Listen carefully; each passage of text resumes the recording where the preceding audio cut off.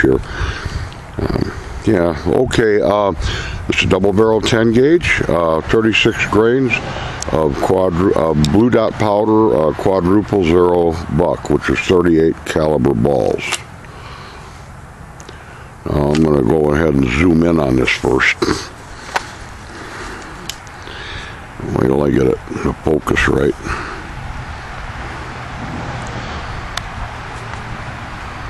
Okay, I'm all set. Go ahead.